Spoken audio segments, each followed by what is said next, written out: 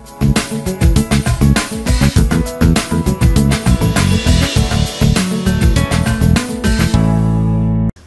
అమల్లోకి వచ్చిన ఎంవీ యాక్ట్ను అతిక్రమించితే భారీ జరిమానాలు తప్పవని రాజన్న సిరిసిల్ల జిల్లా బోయిన్పల్లి ఎస్ఐ లక్ష్మారెడ్డి హెచ్చరించారు.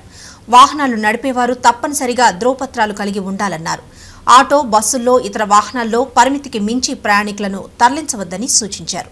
ఈ నెల ఒకటి నుండి కొత్తగా మోటార్ వాహన చట్టం అమల్లోకి వచ్చినట్లు తెలిపారు. రాజన్న సిరిసిల్ల జిల్లా బోయిన్పల్లి మండల కేంద్రంలో నూతన మోటార్ వెహికల్ సవరణ చట్టంపై వాహనదారులకు అవగాహన సదస్సు నిర్వహించారు.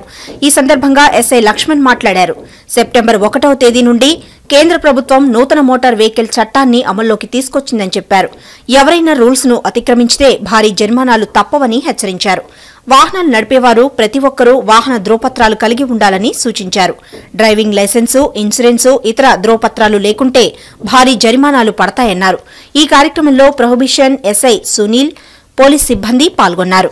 భారత ప్రభుత్వం ఇటీవలే మోటార్ వెహికల్ యాక్ట్లో కొన్ని సవరణలు తీసుకురావడం జరిగింది. ఈ సవరణలు మనకు సెప్టెంబర్ ఒకటి రెండు వేల పది పంతొమ్మిది నుంచి మనకు అమల్లోకి వచ్చాయి. వీటి గురించి బోయినపల్లి లోకల్లోని వివిధ గ్రామాలకు చెందిన ఆటో డ్రైవర్లకు ఈరోజు అవగాహన కల్పించడం జరిగింది.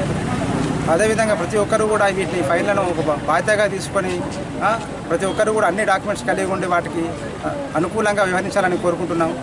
అదేవిధంగా మీకు ఎవరికైతే డ్రైవింగ్ లైసెన్స్ కానీ ఏది లేకుంటే ఈ రెండు రోజుల్లో మొత్తం మీరు పూర్తిగా తీసుకోవాల్సిందిగా కోరుకుంటున్నాం. ఈరోజు బోయినపల్లి ఎస్ఐ గారు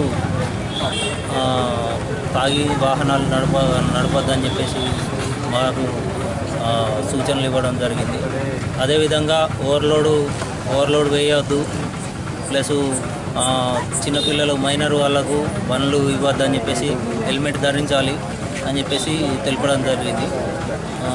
ఇంకోటి లేదంటే ఇప్పుడు లైసెన్స్ లేని వాళ్ళు లైసెన్స్ లేని వాళ్ళు ఈ రెండు మూడు రోజుల లోపల లైసెన్స్ తీసుకోగలరని మాకు సూచనలు ఇవ్వడం జరిగింది.